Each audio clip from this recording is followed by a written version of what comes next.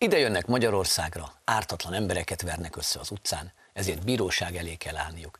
De Olaszországban hősként tekintenek rájuk, és ugyanezt teszi a magyar független objektív sajtó is. Ők az antifák, róluk beszélünk ma, valamint arról a korrupciós szervezett hálózatról, ami arra szakosodott, hogy Európai Uniós és egyéb adófizetői pénzeket lenyúljon és azokat szétossza a haverok között. Már is kezdünk.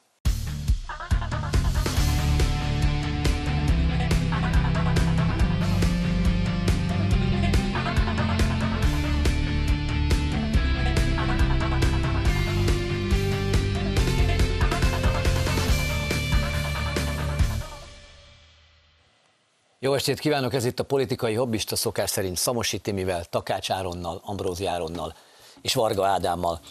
A, nem csak a magyar, de más módon ugyan, de az olasz közvéleményt is lázban tartja a legfrissebb sztori, hogy ugye az antifa támadások elkövetői bíróság elé álltak Magyarországon. Ugye azok, azok, azok a támadások, amik tavaly februárban történtek, és a nyílt utcán maszkos egyének rátámadtak, általában hátulról, viperákkal, különböző járókelőkre. Ugye február 19-én három lengyel férfit vert meg egy ilyen 7-8 fős nemzetközi banda, másnap február 20-án egy magyar férfit, aztán aznap este még egy magyar és egy német párt is bántalmaztak, és hát a nyomozás során kiderült, hogy előtte folyamatosan hosszú időn keresztül követték őket tömegközlekedésen, átszállásokon és stb. stb. És három embert sikerült azonosítani, eljárás is indult ellenük, ketten letartóztatásban voltak itt Magyarországon, köztük az első rendű vádlott, egy bizonyos Ilária Salis, egy olasz antifasiszta tanárnő, aki akit ugye... Ö, ő is Cseobellát énekelt, nem? Mit tudom én, de mosolygott a tárgyalóteremben, nagy, nagy vidáman, vigyorral, teátrálisan jelent meg. A bilincs, bilincsben hozta, állították elő, ugye a szabályok szerint, aztán ott, ott levették róla. Van a másodrendű vádlott egy német férfi, ő elismerte a, ja, igen, tehát Salis nem ismerte el a, a bűnösségét, azt mondta, hogy ő nem követette semmit. A másodrendű vádlott elismerte, egy német férfi, őt három évre ítélték, de még nem jogerős az ítélet. Az ő párja, élettársa, nem tudom, szintén német, ő a harmadrendű vádlott, ő szintén nem ismerte el. Na most a, az olasz nő egyik volt cellatársa, aki szintén olasz, és egy tök más ügyben nem is igazán tudjuk, hogy milyen okból, de őt fogva tartották. Ő azt állít, azóta már kiszabadult, és Olaszországban olyan állításokat tett a széles nyilvánosság előtt, hogy patkányokkal, poloskákkal, bunkó őrökkel teli cellában raboskodtak. Ezt a HVG ezt ugye meg is írta, amit a büntetés végrehajtás országos parancsnoksága határozottan visszautasított, tehát ezeket a vádakat, és hozzátették, hogy szomorú és etikátlan, hogy a HVG a másik fél megkérdezése nélkül az állításokat késztényként közölte le. Na hát, mint amikor nem hozták haza Izraelből az ellenzékieket, aztán kiderült, hogy mégis. Tényleg olyan. A HVG azt szereti ezeket a Ne, kampányokat. ilyeneket csinál a HVG? Uh-huh. Hogy, hogy, hogy egy oldalú és hazudik. Te hogy kizárólag. Na de van a magyarországi független objektív sajtó, a FOS másik fénylő csillaga, a Telex, hát ők is kitettek magukért, ők nagy lelkesen mutatták be ezt a graffitit, amit a római magyar nagykövetség közelében festett a falra, egy másik ilyen antifás aktivista, és ez a műalkotás, hát itt most sok idézőjelet képzeljünk el, vagy tegyünk mellé, a vádlottat természetesen hősként ábrázolja. Hát ez annyira ismerős, mint amikor egy bűnöző, egy drogos bűnöző egy várandós kismama hasához fegyvert tartott. Ugye George Floyd, hát belőle is mit csináltak, közkincset csináltak. Szobrot kedesztára emelték. Ha már Ambrózi példájából Arany, arany koporsó és szobor. Igen. Ambrózi példájából kiindulva ez meg olyan a Telexnél, hogy, hogy milyen példesztára emelik ezt. Picit olyan, mint amikor valaki... Nem amikor valaki, Londonban a telefonban. A teljes baloldal, ne vágja szavam, mert akkor, túl, akkor meg, még hosszabb lesz a teljes baloldal a palesztin, tehát az a Hamas támadás után kirakta a palesztin Ja, abszolút. Kb. ugyanaz. Kb. Ez hasonló, igen, igen. A 24.hu is egyébként, ők is nagyvonalúan Magyarországon raboskodó olasz antifasiszta tanár, bőr, bebörtönzött olasz antifasiszta tanárnőnek nevezik. Még Figyel, figyeld a szót? Antifasiszta, kisbetűvel van írva, nem nagy betűvel, mint a szervezet neve, Aha. hanem mint titulus. Igen, te, igen. mint a hobbista, nem a hobbista, te egy hobbista vagy, igen. nem a hobbista. Értem, értem. De még véletlenül sem utalnak viszont arra, a, a címben, hogy, hogy ez a tanárnő, ez egy, ez egy járókerőkle támadó utcai terrorista. Viszont a, a Ripost egy érdekes cikket közöl arról, hogy, hogy Szalász korábban is állt már bíróság előtt Olaszországban, ott, ott Salvini pártjának, a ligának az aktivistáit zaklatta többet magával, és azonosították, hogy, hogy ott volt, de az erőszakos cselekményeket nem tudták rábizonyítani, úgyhogy, úgyhogy felmentették. És akkor így nyilatkozott róla a Matteo Salvini, hogy azt, azt mondta, hogy íme az illegális bevándorlókat szerető és az olaszokat gyűlölő elvtársak toleranciája. Támadnak, zúznak, sértegetnek, szégyeljék magukat, gyávák. És tudod, mi a legszebb jeszi? Hogyha ezt a nőt most nem kapják el, akkor a legnagyobb lelki nyugalommal visszamegy Olaszországba gyerekeket tanítani. Hát melyik az az olasz szülő, aki ezek után rábízná a gyerekét? Főleg a Láció szurkoló gyerekét, ott pofozna egész nap. Hát azt, mondja, hát azt nem tudom, milyen szülő bízna rá, de Salvini konkrétan nem, mert ő azt akkor ugyan, a, a, ugyanebben a nyilatkozatban, vagy ak- akkor tájt ezt is mondta, hogy ő nem szeretné, hogy az övéit. Nem, most, hát ezt most mondta, hogy nem szeretné, hogy az ő gyerekeit egy ilyen tanárnő tanítsa. Viszont, viszont Giorgia Meloni olasz miniszterelnök személyesen felhívta Orbán Viktort, és reklamáltnál. És tegyük hozzá a pontosság kedvéért, hogy nem azért reklamál, amit egyébként a FOS, a független objektív sajtó próbál sugalni, hogy, hogy engedjék szabadon, meg hogy hogy képzeljük, hogy, hogy elítélünk egy, egy antifasisztára. Nem, hanem Meloni a fogvatartás állítólagos körülményeit kifogásolta, amit ugye a, amiről a HVG is írt, és ezért kérették be a magyar nagykövetet is Rómában. És egyébként azt kell mondani, oké, okay, tehát a fogvatartás körülményeit azt ki kell vizsgálni, és hogyha ott valóban a fele igaz mondjuk eznek a patkányos izének, akkor ezt lehet is kifogásolni, és nem azért, mert a bűnözőknek, bűnözők jogait, nem, tehát de, de minden embernek, tehát bűnöző nem, olyan jogai vannak, hogy ne patkányok és poloskák között kelljen aludni, ez tök rendben. Én azért elképzelem az orosz börtönök után vajon mennyi embernek lenne kedve antifáskodni Oroszországban. Hát, ja, én is inkább Ginoval értek egyet, szenvedjenek a bűnösök.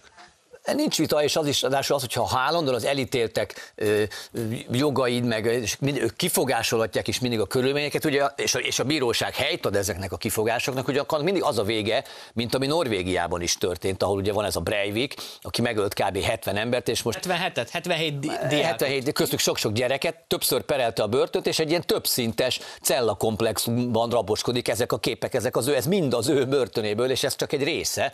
Internet, ö, lapos tévé meg ott a papagájait bevihette a börtönbe. Hát Londonban ez 2200 font a belváros, a belvárostól 8 km. 8 km, de, de, de. Nyilvánosan röhög a rendszeren, hogy neki ez, ezeket biztosítják. Tehát ő, ő trókodásból csinálja ezt, és nyilván. És, és kiröhög, hideg igen. volt a kávéja, nem ért elég napfény a cellájába, ami, ami konkrétan az ő rehabilitációját korlátozza. A pofám leszakad, és tudod hány évet kapott Breivik?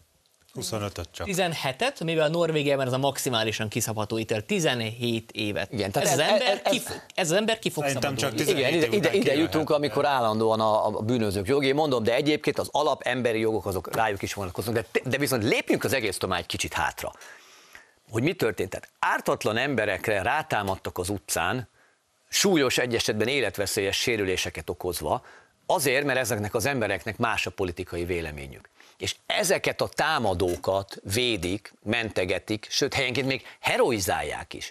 Nem csak Olaszországban, de itthon is a Telex, a HVG és társaik. 24 pont. És még egyszer, egy olyan nőt, aki utcai viperás támadásokat szervezett, és ezekben vett részt, és bárkit, bárkinek a gyerekét képesek megtámadni, és ezeket védi, mentegeti, helyenként herorizálja a heroizálja a Telex, a HVG, a 24.hu és társaik, és tudom, hogy kétszer mondtam el, de nem lehet elégszer elmondani. A Telex, a HVG, a 24.hu és társaik azért, hogy ezzel is lejárassák a magyar igazságszolgáltatást, és persze ezzel is hergelhessenek Orbán Viktor ellen, utcai terroristákat védenek, mentegetnek, helyenként heroiz, heroizálnak. Ez az HVG, a Telex, a 24.hu és társai. Ez az interszekcionista gyakorlat. Mivel antifasiszta, ezért jó ember, egy jó ember meg nem csinálhat rossz dolgokat. Ennyi.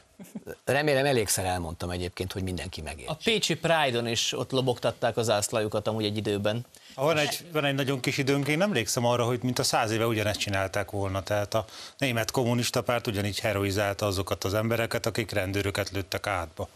Tehát volt egy ilyen rendőrgyilkosság, és akkor 20 év múlva, amikor az NDK megalakult, akkor az egyik államelnök lett. Tehát Jé. ennek a nőnek is van esélye még, hogy esetleg egy kommunista fordulat lesz, és ő lesz Giorgia Meloni. Akkor majd nézhet nagyot a Meloni. Akkor majd mindenki csodálkozik, hogy én már megint megtörtént. Jó, de Ott a Walter Ulbricht egy lendőgyilkos. Kössünk össze még egy pár szálat, jó? Mert ugye még kössünk össze egy pár. Persze, még egy londoni. Nem, egy londoni. Nem, mesélj, Ádám, mesélj. De ne dumálj már bele, mert így soha nem érek a végére. A lényeg az, hogy nézzük meg Olaszország mekkora az államadósága. 134 százalékos államadósága van Olaszországnak. Nem 170, de nem 130 jelenleg most néztem meg.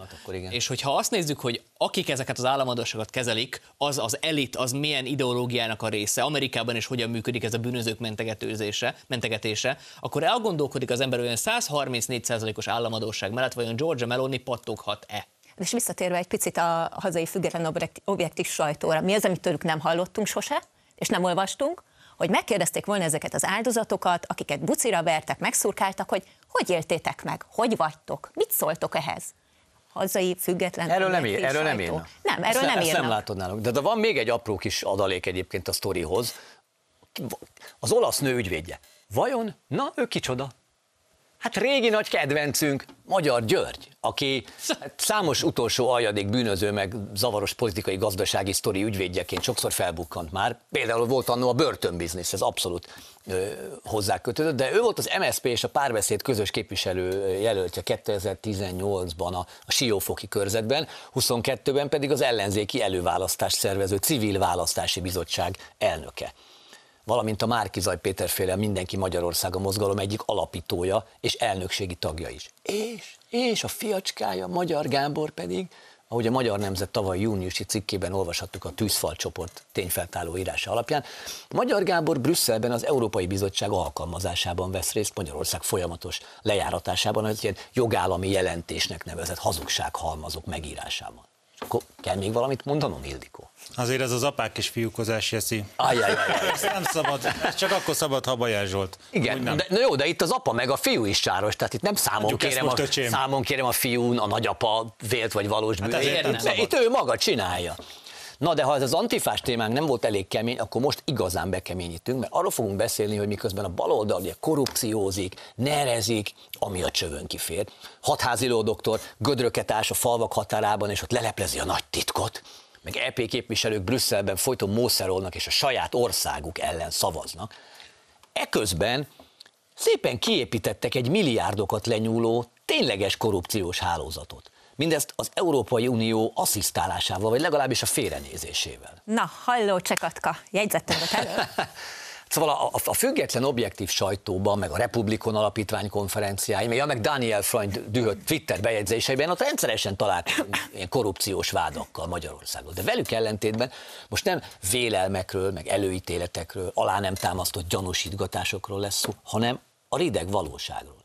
Arról, hogy hogyan építették ki itt körülöttünk a maffia városállamot, a hibrid rezsimet, ahol régi barátok, üzletfelek, rokonok és elvtársak jutottak hozzá, ilyen kamu közbeszerzéseken, adófizetői és uniós forrásokból súlyos milliárdokhoz. Meg arra, hogy hogyan fonódtak össze a politikai és üzleti körök, és az üzleti körök befolyása hogyan ássa alá egy-egy városállam gazdasági stabilitását. De ennyire lefogyott volna ez a pénztáros Lőrinc, vagy csak én nem látom a képen? Jó, most ezzel le, le, le is lőttem a poént ezzel a képpel, mert nem véletlenül használtam a városállam kifejezést, ugyanis, na, meglepő módon Budapestről lesz szó, meg hát a valóságról ez a városállam nem egy ilyen dramaturgiai ügyes fordulat volt tőle, de ők nevezik Budapestet városállamnak, meg Budapest köztársaságnak, hogy ők már nem is Magyarország van, része, tudom. hanem egy különálló entitás. A választásnál konkrétan. Van, konkrétan, igen. És ugye a, a, a, képen meg tüttő katát láttuk, amit a, ez az Áhíd nevű cég eh, karácsony, karácsonyi, karácsonyi rendezvényén, ott ugye mosolyog boldogan, kb. két héttel a főpolgármester helyettesi kinevezése után. És nem leglepő módon ez az Áhíd cég nyert a Lánchíd felújítására újra kiírt pályázaton, ami a Karácsony Gergelyi hazudozásokkal szemben 5 5 milliárddal lett drágább, mint amit a korábbi még Tarlós István nevével fémjelzett pályázati csomag tart. De ez pont így lett optimális és olcsóbb. Igen, de felmerül azért a kérdés, hogy miért is drágult meg sok-sok milliárddal a Lánchíd rekonstrukciója, és akkor találgathatnánk napestig, de abban a szerencsés helyzetben vagyunk, hogy nem kell találgatni. Ugyanis a maffia mafia városállam működtetői, ezek a politikusok, bűnözők, politikus bűnözők, igazából igazából ostobábbak annál, mint alapból feltételeznénk. De ez mindig úgy van a fehér galéros bűnözőkről, ami mindig ilyen legendákat gyártunk, hogy azok mesterbűnözők, meg mennyi eszik van. Kedvenc példám Kocsis István, István magyar villamos műveknek a volt vezérigazgató, úgy lopott el 10 milliárd forintot, hogy hat után hazament a titkárnő, még benn maradt az irodába, felcsapta a laptopot, és átutalált 10 milliárd jó magyar forintot a feleségének a Karib-szigeteki offshore számlájára. Ennyi volt. Majd utána lebukott. Egyébként, ha, ha meg, itt is valami hasonló borzasztóan összetett mestertervet hajtottak végre, nem? 5 milliárddal megdrágult az építkezés, ebből jutott Vigmor zugügyvédnek 1,4 milliárd, amit át is utaltak, nem? Aha, és mivel foglalkozik ez a cég? Ez a maltert kevert? Rozsdaálló festéket forgalmaznak? E, e, imádom az ilyen költői kérdéseket, de nem, Vigmornak nem építőipari cége van, ő filmgyártással foglalkozik, aminek nyilván videók. nagy szerepe van a hídépítésben a filmgyártásnak, de hát ugye azt, azt is tudjuk, ez is, ezzel is tele vannak a hírek, hogy lebukott egy ilyen hatalmas számlagyár üzemeltetésével, és most várja a, a, az igazságszolgáltatás elé fog kerülni. De egyébként a fickó, amúgy a, ugye a Soros Gyurka bácsi birodalmához tartozó Amnesty International főnökének a tesója, és ő fölvett tényleg frankon 900 milliót készpénzben. Majd a készpénzt, itt jönnek a spekulációk, szóval a készpénzt, hát ki tudja hova vándorol, de, de valamiért a, a Karácsony Gergely előválasztási kampányára összedobozolt készpénzről azt lehetett megállapítani első körben, hogy elég gyanúsan olyan állapotban, címletekben, meg sorszámmal rendelkeztek, ami, ami alapján az kiderül, hogy az bankból vették fel, nem így össze persejezték a tüntetéseken, meg a kampányrendezvényeken. Ja, én kimondom, mert amúgy is engem már régen pereltek, és már szeretnék valami hatkor kelni, hogy bejussak oda a Teve utcai rendőrpalotába egy csodálatos Pol- profilfotózásra. Azt hittem, hogy polos, poloskák és Hát szerintem ezt az 500 milliót, ezt, a, ezt ugye kb. visszaadták a közbeszerzésből Karácsony Gergelynek, tehát Mr. 10 százalék, tehát hagyta, hagyta, hogy ellopjanak 5 milliárdot, és abból neki 10 százalék visszajárt. Tehát ez mégis nagy vonalú, tehát nem az egész összegnek kérted a 10%-ét, csak a túlárazásnak. Nem, nagy vonalú, hát fi, szerény fiatalember ez a Gergő. Meg de, az élet. de nem véletlenül említettem Vigmor testvérét, a Soros Istálóba tartozó Amnesty főnökét, Vig Dávidot, mert itt érhető tetten a bűnszervezet. Mert az, hogy a Lánchíd rekonstrukciója teljesen tisztán és átláthatóan történjen, arról bizony egy másik soros szervezet, a Transparency International gondoskodott. velük szerződött a főváros és az Áhíd, hogy konzorciumi partnerként gondoskodjanak arról, hogy se túlárazás, se kamufilmgyártási megbízások, se kampánykasszába visszacsorgatott milliók ne legyenek. Na, ez tényleg nehéz röhögés nélkül elmondani. És mennyit kaptak ezért a szakértői munkáért? Nem, nem, ez egy nem, nem, nem, nem, nem, nem, nem, az nem sokat filléreket. Jó, hát akinek, akinek 5 millió forint fillér, nekik igen, mert ahhoz fillér. képest... Hát... Ilyen apróval az amerikai nagykövetség dobálózik. hát talán még lesz időnk arról is beszélni egy pár percet, de pont ez a lényeg, hogy fillérekért. És azért mellette persze eladtak ilyen korrupció ellenes modulokat, meg korrupció ellenes képzéseket, meg korrupció ellenes know-how-t a fővárosi önkormányzatnak meg az összes baloldali önkormányzat szerződést kötött velük sok-sok millióért, de nem ez, nem ez volt a nagy zsuga, hanem az, hogy ők ráütötték valamire a pecsétet, hogy a Transparency International által ellenőrzött és szakértett közbeszerzés, és akkor azonnantól tiszta. Hát régen volt ez a vicc, hogy van az az éves lista, hogy ki mennyire korrupt, és akkor sokat javítottunk, de ez nem volt olcsó. Itt ez most látszik, hogy ez egy pillanatig sem vicc, tehát itt konkrétan megvalósult, hogy jól értem, hogy szereztek egy filmgyárost, akit bevontak, és az amnesty nem villogott, hogy hello, hát a hídépítés, ez nem kell filmgyár. Dehogy is nem, nem. hát a Noir eljátsz a gerőt, a hídverőt, és aztán sokkal ja. hamarabb megépül. mutatom, mutatom, hogy né, mutatom a gyakorlatban. Beszkennelem, jégermentes.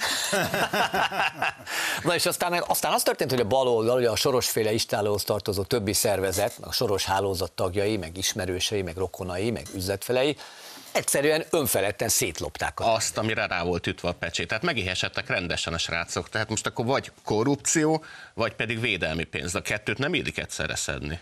Várj, várj, várj. És akkor erre a híres lakmusz hogy reagált?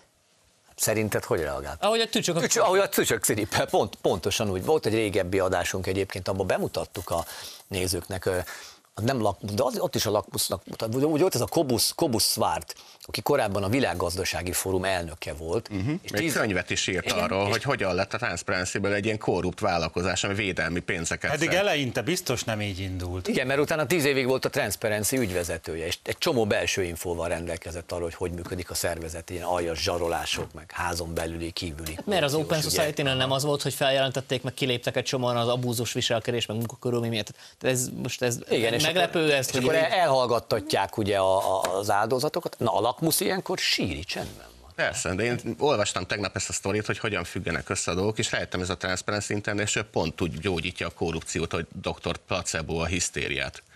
Megvan nektek a Muszti Dobai zseniális kettős, meg a neki kis remek műveik? Van hát a, a Voga Turnovszki, az még megvan. Van a kék csodatorta. Szerintem szerintem a gyereked is még lehet, hogy más már tínédzser meg ilyenek, de élvezni, hát én felnőtt fejjel meg szoktam hallgatni évente. Abban van ez a zseniális jelenet, amikor a elolvasom, amikor a király megkérdezi a, a dr. Placebót, hogy meg tudod gyógyítani az én gyönyörűséges kislányomat, Szupertóniát? Nos, a csillagok bonyolult állása miatt nehéz kiszámítani az aspektusok, konjukciók, periódusok, relációt. Áj, áj, áj, egy kukkot nem értek az egészből. Szóval kéne még egy kis pénz. Amúgy ez egy színdarab, szóval... amit Ambrózi évente megnéz. Igen, am, am, Ambrózi kultúrperceit hallottuk, és azt mondtam, hogy majd még, ha lesz egy kis időnk, akkor még beszélünk. Sőt, ha valaki a... ismeri a Muszti Dobait, akkor valahogy próbálja meg ide hívni a műsorba vendégnek őt. Egyébként azt adom azt az ötletet, szóval, hogy a, a, arról a pár millió forintról, amit David Pressman, amerikai nagykövet szétosztotta, szétosztotta a magyarországi független objektív sajtóban, de sajnos erre már ma nem marad időnk. Viszont... Tudod, mert meg kéne még egy kis pénz. hát annyira el elhidasztuk meg, nem tudom. Szóval... Nem tudjuk áthidalni ezt a problémát? Fú, még egy szóvit Szádám, és a jövő héten nem jössz. Szóval izgalmasak voltak a mai témák, de ezt a Pressmannes független objektív sajtós 115 millióst, ezt tegyük el jövő hétre, mert ez akkor még bőven, bőven ér annyit, és bőven meleg lesz még. A Pite lehet, hogy még melegszik is egy kicsit, úgyhogy jövő héten erről is beszélünk, meg még sok minden másról, viszont most sem menjenek sehova, mert a szünet után folytatódik a politikai hobbista, és Varga Mihály pénzügyminiszter lesz a vendégünk. Hoppá!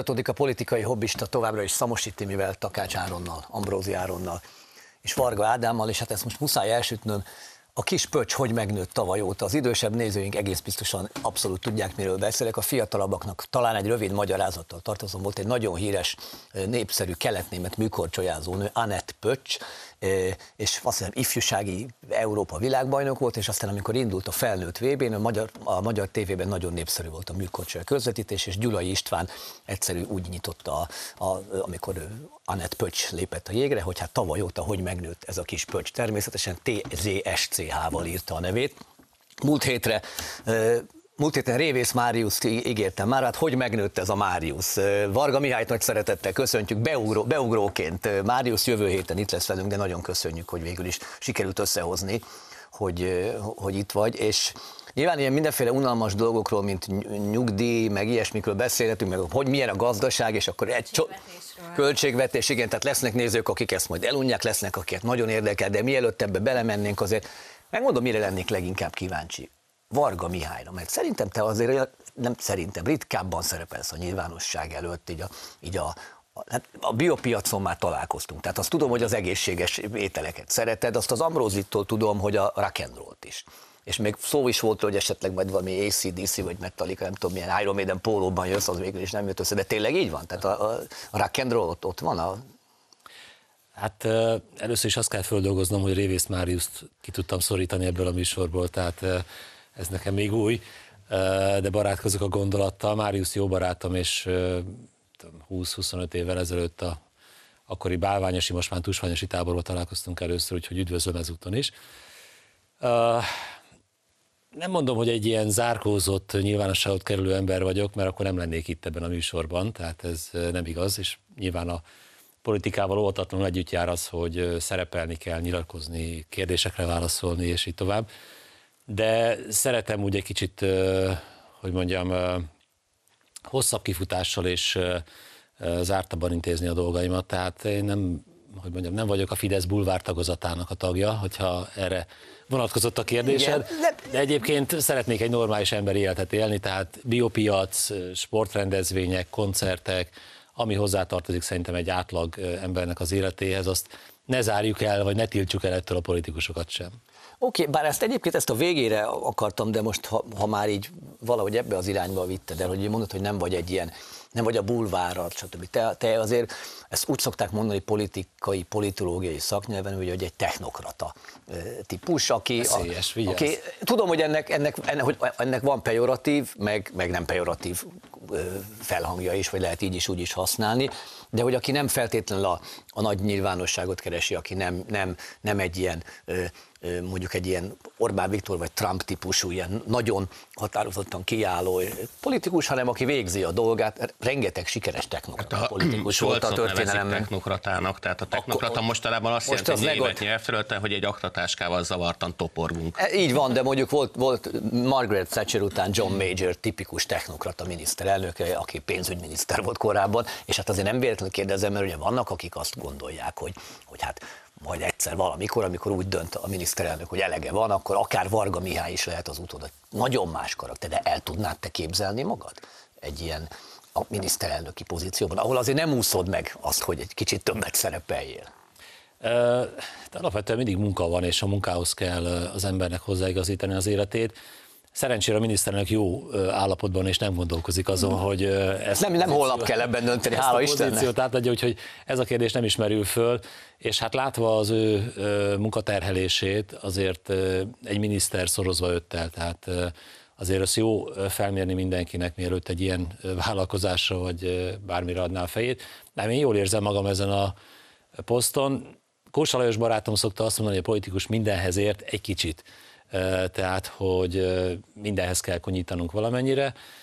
Én azt gondolom, hogy mivel közgazdásznak készültem a civil életemben, voltam én is rendes ember, ahogy szokták mondani a politikusok, inkább ehhez értek. Legjobban persze, hogyha rizstermesztés, vagy egészségügy, vagy bármilyen más kérdés kerül fel, az ember fölkészül belőle, és döntésképes állapotba hozza magát, de alapvetően hát ha már Varga Schuster maradjon a kaptafánál, tehát ha már gazdasággal foglalkoztam egyetemi éveim alatt, aztán amikor a civil életben dolgoztam, akkor szerintem érdemes ezzel foglalkozni inkább a, a politikában is.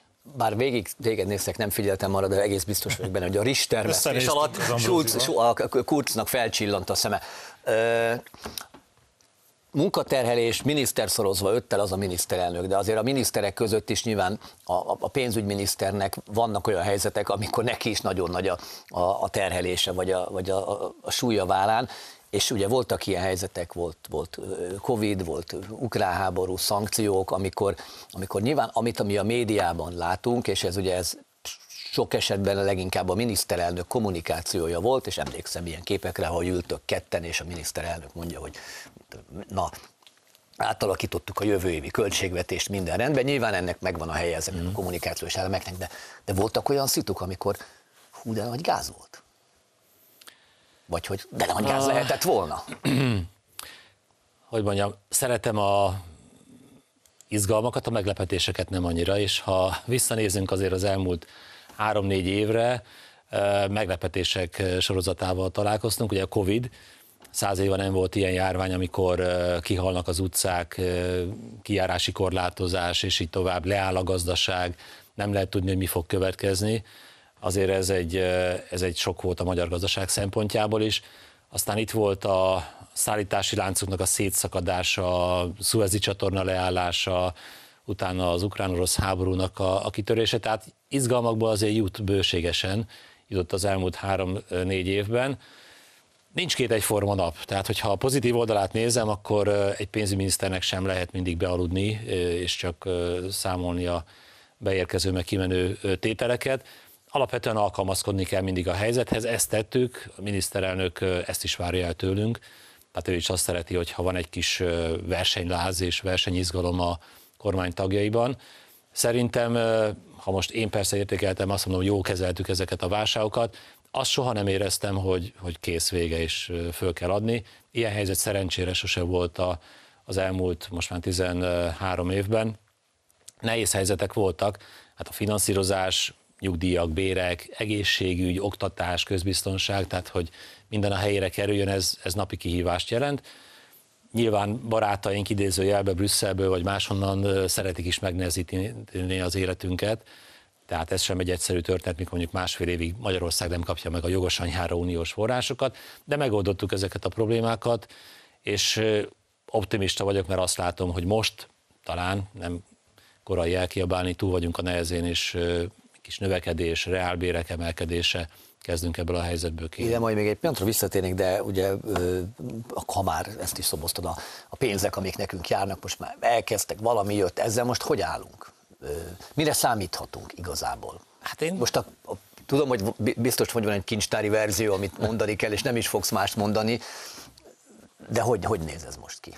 Hát gondolom ez egy nyilvános műsor, tehát ezt látni, hát fogják, ezt igen. látni fogják néhányan, úgyhogy továbbra is azt szeretném megerősíteni, hogy ezek a pénzek egy járnak nekünk, kettő, ugye tavaly december óta a pénzek egy része elkezdett jönni, igen, de most, de most már egyre komolyabban fenyegetőznek. Tehát most már igen, igen, vétójog igen, elvonással is, de az politikai, de ugye a, de a pénzekkel. December óta beérkezett 520 milliárd forint, és most úgy látom, hogy a politikai zsarulás mellett a gazdasági zsarulás megint előkerült.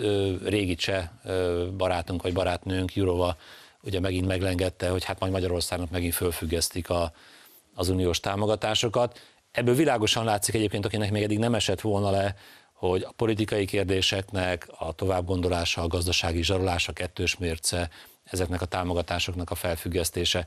Tehát ez a pénz jár nekünk, én nagyon bízom benne, hogy a folyósítások azok töretlenek lesznek. Enélkül is meg tudjuk oldani az életünket, de nyilván más a helyzet akkor, amikor ezek a pénzek beérkeznek, és ebből tudjuk a támogatási programokat, fejlesztéseket megcsinálni, és más az, amikor nekünk kell mondjuk a hitelpiacon begyűjteni a forrást és finanszírozni. Tehát én optimista vagyok, igen, egy kincstári optimizmussal nézek a következő hónapok elé is, szerintem ez a pénz érkezni fog. Magyarország mindent megtette azért, hogy az úgynevezett szupermérföldköveket teljesítse. Ezt el kell ismerni Brüsszelben is. Azért i- Bocs, ezeket a késedelmi kamatokat nem lehet ráterhelni Brüsszelre? Hogy teljesen jogtanul visszatartották a forrásokat, akkor a nyílt piacról kellett finanszírozni hitel formájában, és akkor ennek a költségét térítsék már meg. Good luck. Közjegyző, mondjuk egy közjegyző által hitelesített ilyen fizetési meghagyást ott hagyunk nekik is, ha nem adják a pénzt, akkor küldjük a kopaszokat. Én, én mást, Good luck. mást kérdeznék viszont, ugye szólt a válságokról a gazdaság, és egy csomó olyan meglepetés, amit kezelni kellett.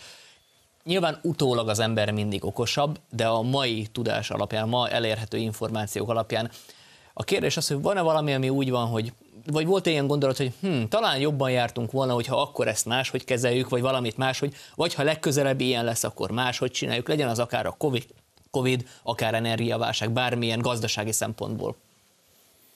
Hát ezek érdekes felvetések, és ha lenne időm ezeken gondolkozni, szívesen gondolkoznék is, de egész egyszerűen olyan gyorsan, olyan sebességgel követik egymást az események, hogy ezt a történészekre vagy a... Hogy a, hogy a múltat menedzselni fölösleges. Tehát a, a, a múlttal már nem érdemes foglalkozni abból a szempontból, hogy akkor úgy éreztük, hogy a lehető mm. legoptimálisabb döntéseket hoztuk meg. Na most, ha három év távlatából kezdek el azon gondolkozni, hogy tényleg akkor a jó döntést hoztam-e, persze, nyilván bizonyos dolgokat másképp csinálnak, hát az ember ebből tud tanulni a saját maga által elkövetett események feldolgozásából is, ebben igazad van.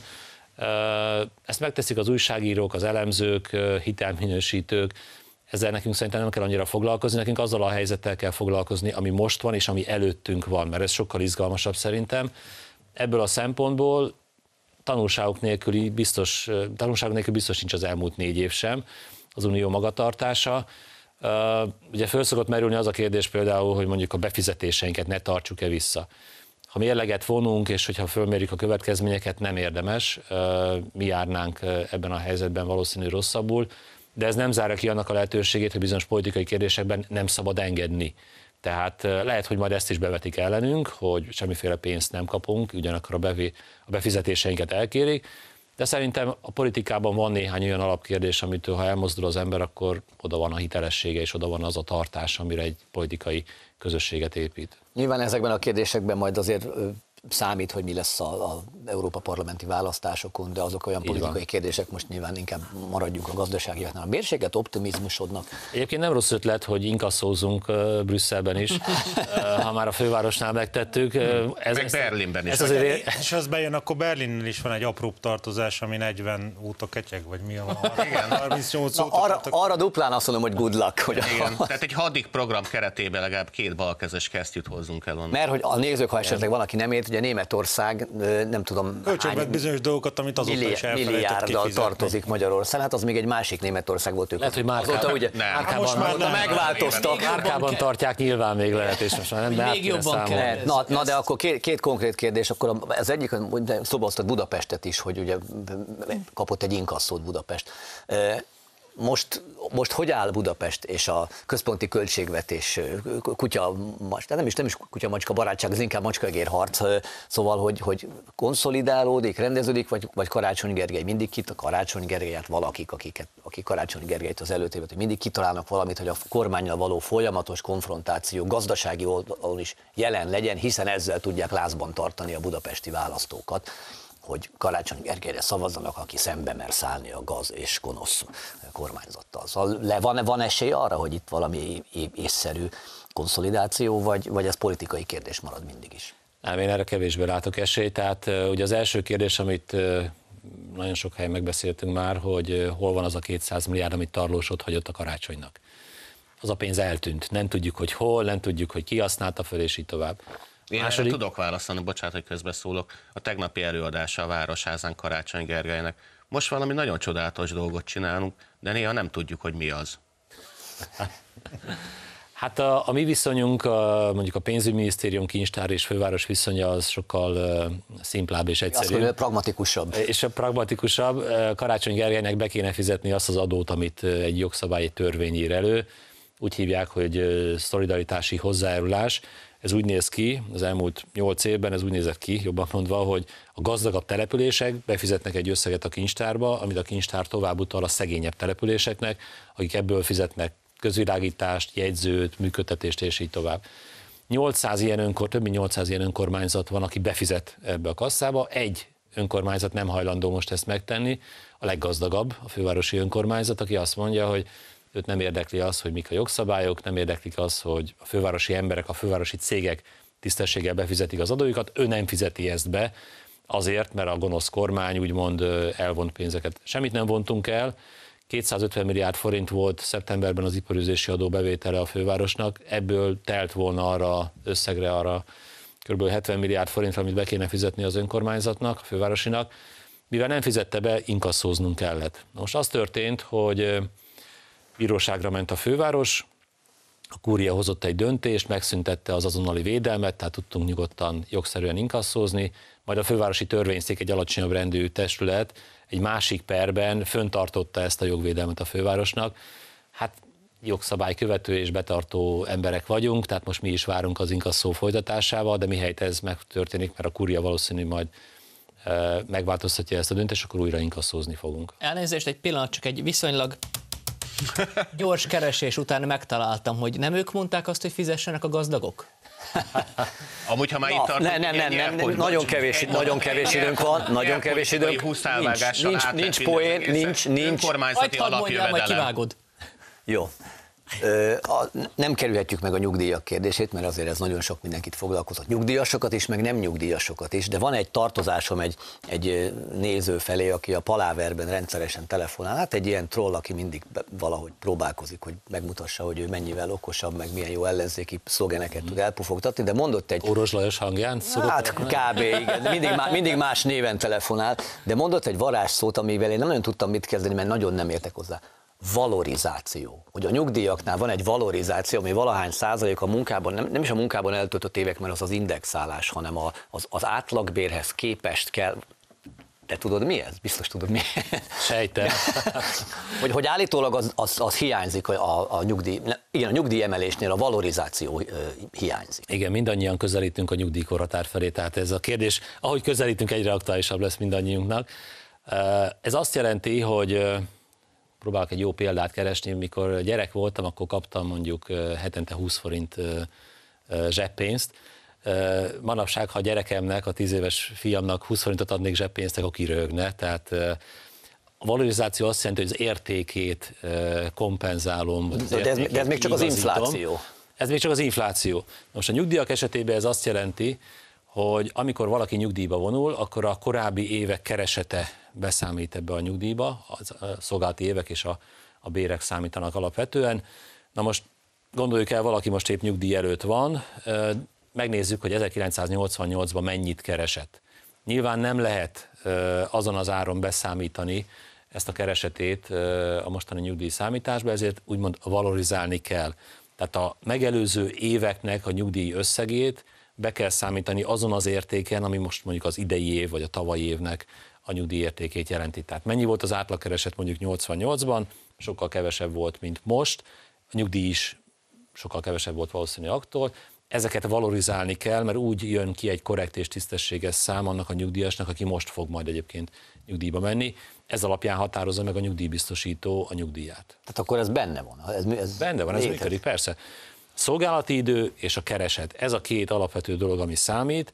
Hány évet dolgozott valaki, és milyen jövedelme volt, ez alapján kalkulálja ki a nyugdíjbiztosító, és ezt az összeget valorizálja, mert 30-40 évvel ezelőtt, amikor valaki az első fizetését megkapta, nyilván az infláció, a, ezek a változások értékét vesztetté tették annak a, az összegnek a nagyságát. Kedves nézők, közgazdasági alapismeretek perceinket hallották. Ö, olvasom a 24.hu ö, tegnap előtti, talán szalagcímét. Megborult a magyar nyugdíjkassa, túl optimista volt a kormány. Hát most nyilván egy ellenzéki felülettől az ember nem nagyon vár más, de, de ugye alá is támasztják adatokkal, mm. vagy legalábbis látszólag azt, hogy, hogy ugye azt tudjuk, hogy a nyugdíj több, többet fizet ki az állam nyugdíjat, hosszú évek óta, tehát ez nem egy mai jelenség, mint amennyi bevétel érkezik a költségvetésbe, társadalombiztosítási járulék, stb. stb. Tehát, hogy a nyugdíjrendszer, és akkor itt olvasni ezt is a cikkben, hogy, hogy és ezt lehet, hogy pont te mondtad, de nem vagyok benne biztos, hogy még tíz évig nem kell attól tartani, hogy fenntarthatatlanná válna. De azért ezek szerint fin valahonnan az állam más forrásokból kell, hogy finanszírozza a nyugdíjakat. Ez mennyire működőképes hosszú távon? Először is azzal hadd kezdjem, hogy a magyar nyugdíjrendszer stabil, és mindenkinek a nyugdíját fizeti. Tehát ebben nincs vita, még azokkal a portáloknál hitelesebb szakértőkkel sem, akik mondjuk az OECD-ben vagy a Európai Bizottságban nézik meg a magyar nyugdíjrendszert. Tehát mindenki azt mondja, a következő 10-15 évünk rendben van. A 2010-es években a magyar kormány hozott olyan lépéseket, döntéseket, például a korengedményes nyugdíjnak a felülvizsgálatával, ami stabilá tette a működést ami teljesen jogos kérdés, és ettől elválasztandó, hogy hát mi van a demográfiai tendenciákkal. Ha kevesebben eh, lesznek aktív korúak, akik dolgoznak és befizetnek ebbe a rendszerbe, a nyugdíjasok száma pedig, az inaktívak száma nőni fog, akkor nyilván ebben a rendszerben feszültség keletkezhet. Ebben mindig folyik egy gondolkodás, ez egyenlőre a szakértőknek a terepe. Eh, mi is eh, azon dolgozunk, hogy ez a helyzet egyrészt ne következzen be, népesedési tendenciák forduljanak meg, és több aktív korú polgára legyen Magyarországnak. Másrészt pedig, ugye most folyik egy felülvizsgálat, pont az egyik ilyen szuper mérföldkő volt az, hogy az OECD-nek elő kell készíteni úgymond nyugdíjreform javaslatokat, várjuk az OECD-től ezt az anyagot, foglalkozni fogunk vele, de azonnali prompt beavatkozással semmi szükség nincsen. Éppen most február van, fizetni fogjuk a 13. havi nyugdíjat, úgyhogy up to date tudom mondani, hogy nem csak a februári nyugdíj, hanem a 13. havi nyugdíj is érkezik a nyugdíjas honfitársainkhoz. 1041 milliárd forintot fog kifizetni a kassa minden gond nélkül. Hát egy utolsó gondolat, és már csak másodperceink, de amikor a mérsékelt optimizmusodról beszéltél, ugye, és mondtad, hogy mennyi hirtelen adott helyzetet kellett megoldani, hogy ezt a szaknyelv Nassim Taleb után fekete hattyúnak nevezi az olyan eseményeket, amikre, amikre semmilyen jel nem utal, hogy ez fog történni. Hát ilyen volt ugye a Covid is, de mondjuk az ukrán háború is nagyjából ilyen mm. bár ott lehetett esetleg előre. Szóval, hogy mennyi fekete hattyú eseményt bír ki a magyar gazdaság? Egyszer egy kollégámmal beszélgettünk erről, és a kollega nem tudta ezt a kifejezést, hogy fekete hattyú és fekete gólyát mondott, és azóta nálunk a PM csak fekete gólyaként emlegetjük ezeket a szituációkat. Nézd, nem vagyok jövőbe látó ember, nagyon gazdag lennék akkor, hogyha ez így lenne. Azt kell mondanom, hogy a magyar gazdaság most egy olyan pályán van, ami vissza fog bennünket navigálni abba a pozícióba, amivel 2019 végéig, tehát a Covid megjelenéséig voltunk, akkor Magyarország a leggyorsabban növekvő országa volt az Európai Uniónak. Növekedés, alacsony hiány, csökkenő államadóság, magas foglalkoztatottság, tehát legyen mindenkinek lehetősége elhelyezkedni, dolgozni, jövedelmet szerezni, a népesedési tendenciák, családtámogatási rendszer támogatása, megfordítása. Tehát szerintem az alapkérdéseken nem kell változtatni. Én, ha a következő 5-10 évét nézem meg az országnak, akkor azt kell mondanom, hogy mind gazdasági, mind ilyen német László értem, egy emelkedő nemzetet látok, tehát egy gyarapodó és egyre magabiztosabbá váló országot öt év múlva akkor majd ezt nézd, tekintsük vissza, nem azt mondom, hogy akkor találkozunk legközelebb, de hogy akkor is majd tekintsünk vissza. Nagyon szépen köszönjük Varga Mihálynak, a nézőknek a figyelmet. Jövő héten tényleg Révész Máriusz érkezik viszontlátásra.